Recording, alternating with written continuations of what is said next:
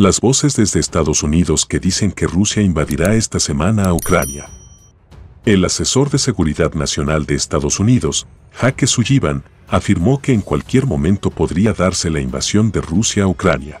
Entre tanto, Kiev cree que la incursión no es inevitable y que es necesario restar importancia a las predicciones apocalípticas. Las tensiones entre Estados Unidos y Rusia por Ucrania son cada vez más fuertes.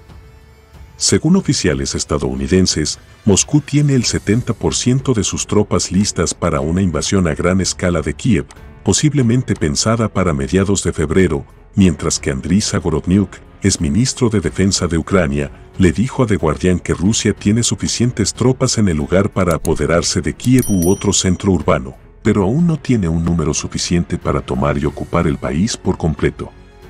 Rusia ahora podría apoderarse de cualquier ciudad, pero todavía no vemos los 200.000 soldados necesarios para una incursión a gran escala, dijo.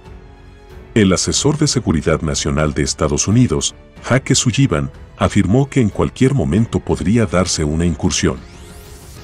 Podría suceder tan pronto como mañana o podría tomar algunas semanas. Creemos que los rusos han puesto en marcha las capacidades para montar una operación importante.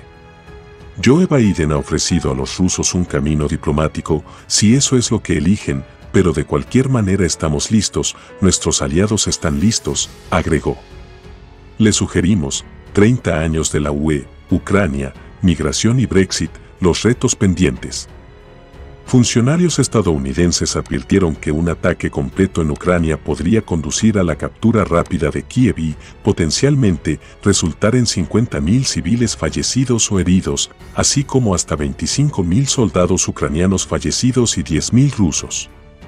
Además, millones de personas podrían huir hacia Europa, provocando una crisis de refugiados.